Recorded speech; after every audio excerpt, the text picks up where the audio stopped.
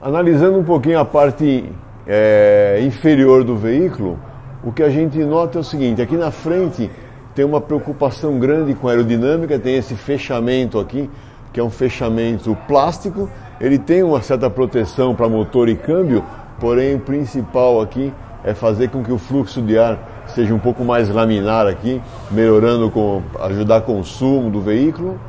Uh, falando da suspensão, o que a gente nota na suspensão? A gente tem aqui um subframe que ancora os dois braços de controle da suspensão. Né? Então, uma peça bem, bem sólida, bem rígida. E aqui nas, nas braços de controle e o freio desse carro é um freio é, dianteiro, um freio de disco ventilado, né? uma arquitetura bastante simples e eficaz. Suspensão dianteira McPherson. Né?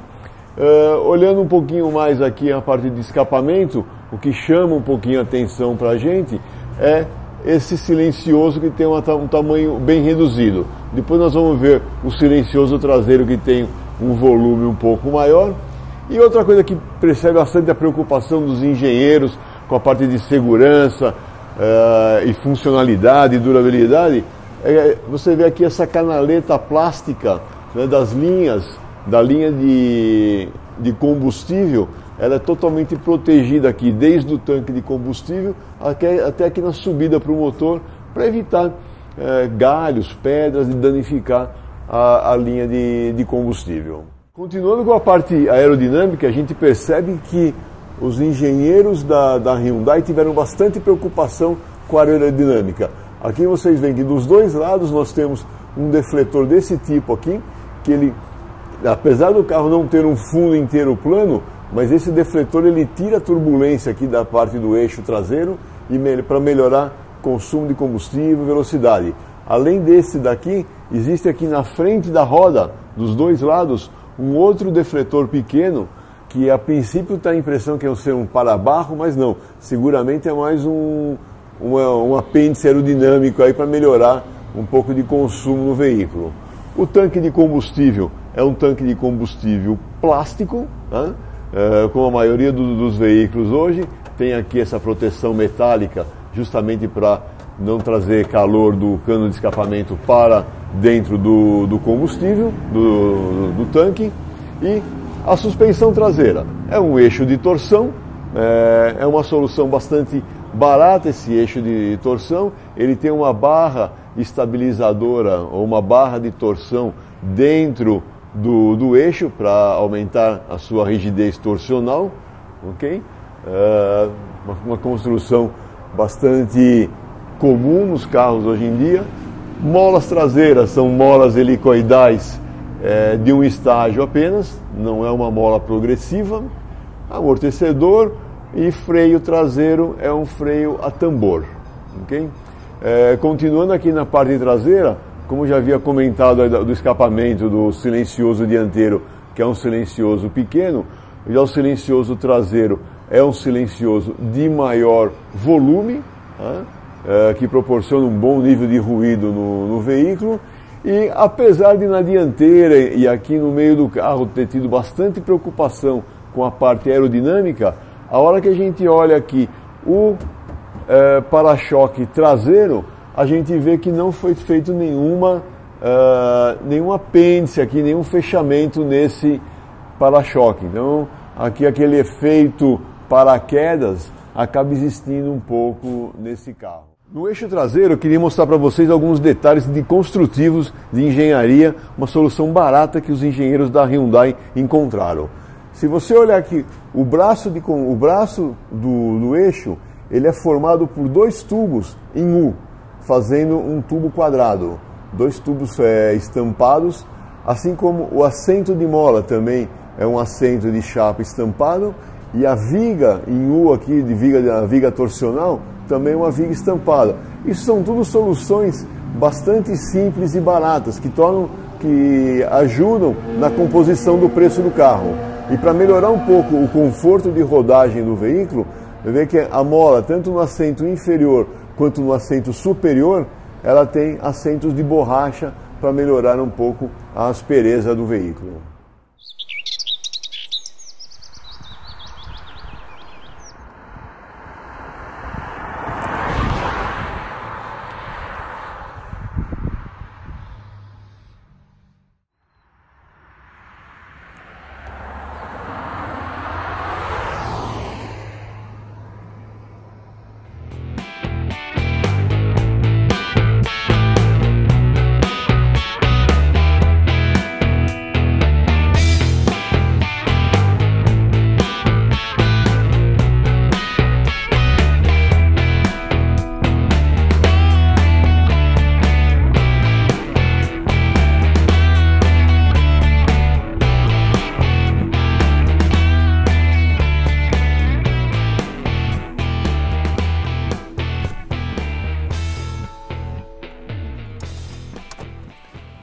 Márcio. Olá, pessoal. Bom dia, boa tarde ou boa noite, amigos do AE. É, Para quem não me, não me conhece, eu sou Gerson Borini, novo editor do AE. E esse é o primeiro vídeo que eu estou fazendo para vocês aqui de uma avaliação de veículo. Espero que vocês gostem. Vou mostrar para vocês hoje aqui o novo ou 2020 Hyundai Creta. Essa aqui é uma a versão é, Pulse Plus com motor 1.6 litros, 4 cilindros de 130 cavalos com, com álcool ou 123 com gasolina. Eu zerei o computador de bordo desse carro na minha casa em Campinas. Eu moro em Campinas e vim de Campinas para cá dentro dos limites de velocidade das estradas, então eu usei um pouco da Bandeirantes a 120, a Santos Dumont a 110 e a Castelo a 120 também. Uh, o consumo acumulado do carro, que está abastecido com álcool, deu 7,5 km por litro. Não é um consumo ruim para esse tipo de veículo, para esse tamanho de veículo. E para complementar um pouco essa, essa avaliação, nós vamos dar uma olhada no carro por fora, ver alguns detalhes, tanto externo quanto interno do carro, que eu acho importante mostrar para todos e depois nós vamos dar uma volta com o carro e mostrar como que é o comportamento dinâmico desse veículo. Mostrando alguns detalhes para vocês dessa versão Pulse Plus que a gente está testando. Ela tem o opcional de rodas de aro 17, é um pneu 215 60 17, ok? Uh, no modelo 2020, o que mudou realmente nesse carro foi a parte do para-choque dianteiro e farol de, de, de, neblina. Foi uma das principais alterações que nós tivemos no modelo 2020. Além dessa mudança na, na parte dianteira do veículo, tem algumas mudanças também na parte interna com alguns acessórios que a gente passa a ter nesse, nesse veículo aqui. Depois nós vamos, ó, que estiver andando com o carro, eu vou dar mais detalhes para vocês desses acessórios todos que foram implementados para a versão 2020. O carro tem um tamanho muito bom, se você olhar assim, o porte do carro para, uma, para um SUV, ele tem 4 metros e 290 milímetros, é um tamanho bom. A altura livre do solo está em 190 milímetros, seja, passa fácil em qualquer, em qualquer obstáculo. Uh, ângulos de entrada e de saída, ângulo de entrada dianteiro de 21 graus e da traseira 28 graus. E na, na versão, nessa versão testada aqui, o peso total desse veículo é 1.359 quilos, tá? que também é um peso bem adequado para o, para o porte desse veículo. Vamos ver mais alguns detalhes na parte traseira do carro. Aqui na traseira, externamente, como comentado, não teve nenhuma alteração de, de conteúdo. O que a gente pode dar uma olhada aqui é no porta-mala, uma abertura muito, muito fácil. Porta-mala tem um volume muito bom. Vocês podem já ver ali a ancoragem do, do top, top tether do, do Isofix, que é uma coisa importante hoje em dia. Uh, o banco traseiro, encosto, ele é bipartido, um terço, dois terços. E aqui a gente tem o tampão que nos dá acesso ao step. A roda reserva é uma roda de temporária, de uma dimensão menor do que a roda original, com, com roda de aço. Como eu vim, vim dirigindo esse carro, a posição do banco já está na minha posição mais confortável de dirigir. Agora vou fazer o eu atrás, o eu atrás de mim. Eu sou um pouquinho mais alto que o Bob, então fica um pouco mais comprometida essa avaliação para comparar com a do Bob. Mas vamos ver se eu ver que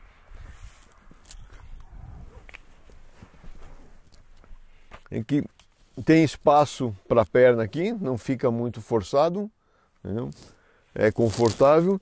É um carro para, apesar de ser para cinco pessoas, ele acomoda muito bem quatro pessoas.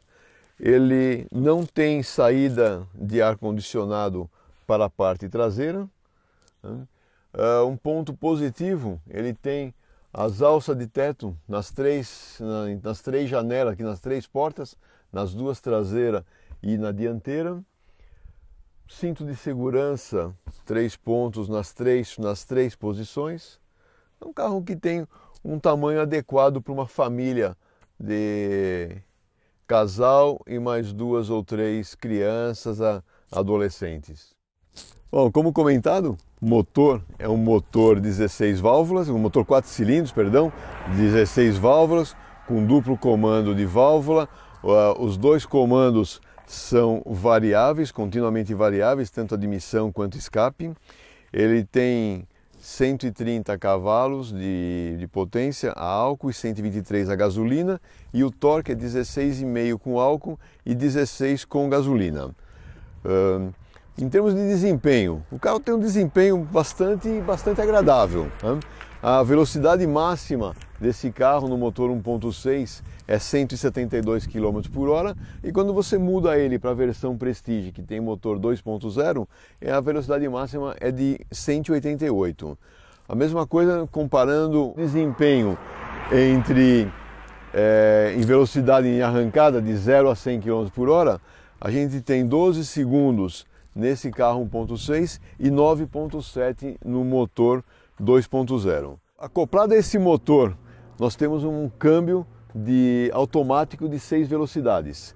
Há, existe a opção também na linha do Creta, da, da versão mais básica, que é a versão Attitude, ele tem disponível o um câmbio manual de 6 velocidades, que é uma boa opção para aqueles que são mais entusiastas do, da troca de marcha mecânica.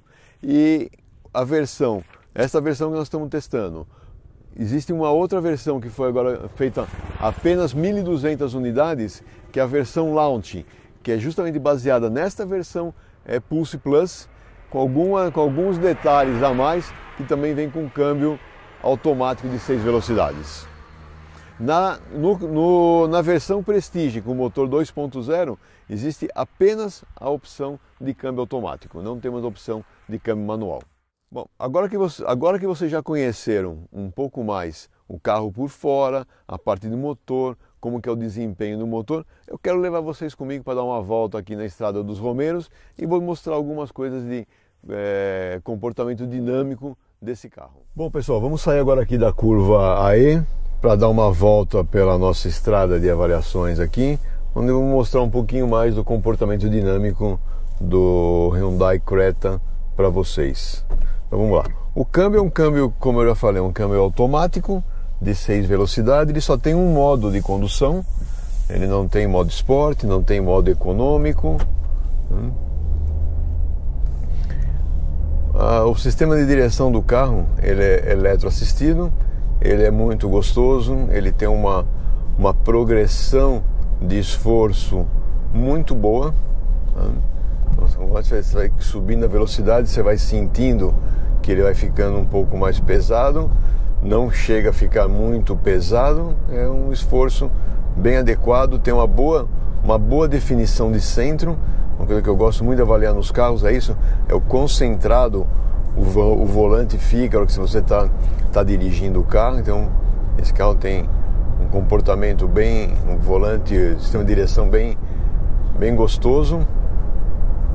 É, em termos de, de conforto e de movimentação de suspensão, o que a gente vê, o carro tem um, uma estabilidade boa entre a dianteira e a traseira, é, porém, é, o que não, não gosto um pouco é que algumas emendas de asfalto, remendos de asfalto, pequenas é, ondulações, ele acaba copiando demais o piso. Então, como vocês podem ver aqui, então a absorção de impacto dele não é das, das melhores. Uh, tenho certeza que, a, que os engenheiros da Hyundai trabalharam bastante nisso e uma das coisas que, que eles fizeram para minimizar um pouco esse impacto é a parte de, de pressão de pneus. notei que a pressão de pneu desse carro aqui é um pouco mais baixa do que a pressão de pneus que outros modelos, outros SUV utilizam quando tem esse mesmo tipo de pneu. Isso foi seguramente para melhorar essa parte de impacto. O câmbio ele responde bem, aqui nós estamos no modo drive, Né? A gente pode passar ele para o modo manual, aqui estamos em terceira marcha, ah, aqui reduz, terceira, quarta, quinta.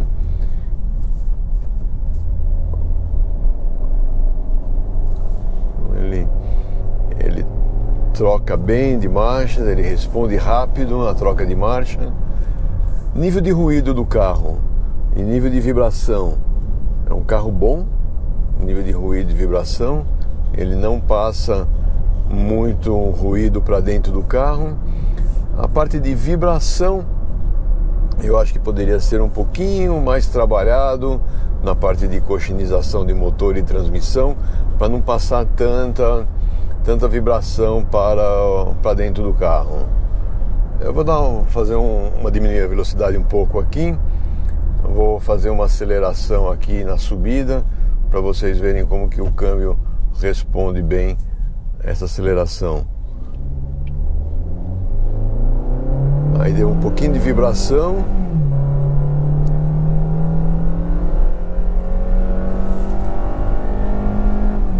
Troca lá no 6200, um pouquinho acima da, da rotação de potência máxima.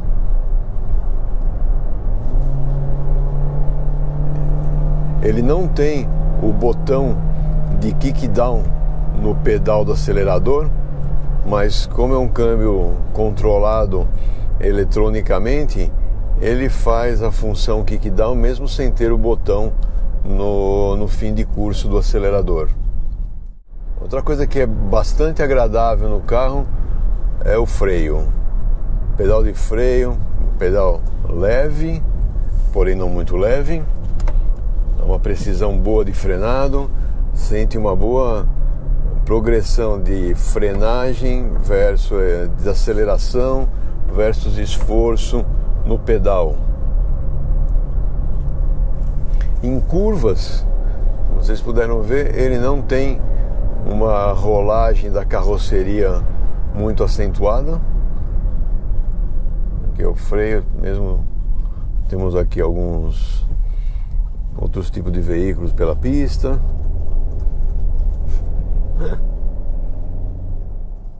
Como itens de conforto que a gente nota aqui, começando aqui pelo console central, a gente tem o multimídia aqui na parte superior, ele tem o Apple CarPlay, o Android Auto para facilitar a navegação. Na parte é, intermediária tem o controle do ar-condicionado, é um controle de ar-condicionado eletrônico, ou seja, você ajusta a temperatura e ele faz a tua estabiliza a temperatura da cabine. É só uma zona. Né? Só uma zona. Uma coisa que eu gostei bastante desse carro, logo que eu peguei ele, eu, o primeiro contato meu com ele foi à noite. Todos os botões aqui do, do volante e os volantes da, e os, os botões do console central são todos iluminados numa cor azul, bastante discreta e numa num um índice de cor assim bem bem confortável. Aqui no lado direito do volante a gente tem os botões de controle de velocidade de cruzeiro e do computador de bordo, fica deste lado direito, e do lado esquerdo a gente tem os controles do, do rádio e do telefone celular que você pode fazer as ligações direto por aqui com comando de voz. Basicamente, os demais comandos de eh, seta, farol, são aqui do lado esquerdo, na alavanca, e na alavanca do lado direito temos os controles do limpador de para-brisa, dianteiro e traseiro. Aí não tem muita, muita novidade. Esse carro ele é equipado com o start-stop. Né? E uma vantagem desse carro, nós temos aqui no console central, próximo à alavanca, nós temos o, o botão para desabilitar o start-stop. Caso você não, não queira utilizar o start-stop, você tem a opção de deixar desligado. Ali embaixo temos uma, uma porta USB e uma outra porta auxiliar, além das, das tomadas de 12 volts.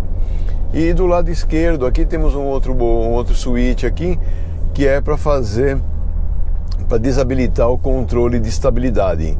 Esse carro é equipado com controle de estabilidade e controle de tração já. Uh, aqui nessa tela, na tela central do multimídia também, é onde é espelhado a câmera de ré, que para facilitar a parte de estacionamento e manobras do veículo.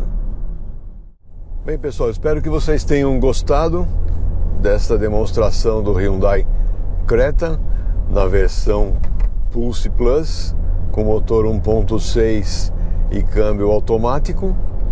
Uh, a gente vai se despedindo já aqui e se vocês quiserem acessar a matéria completa do carro, ficha técnica, todo o conteúdo do veículo, vocês podem acessar através do site do Auto Entusiastas, que lá nós vamos disponibilizar todas as informações para vocês. Tenham um bom dia e obrigado pela sua audiência. Abraço.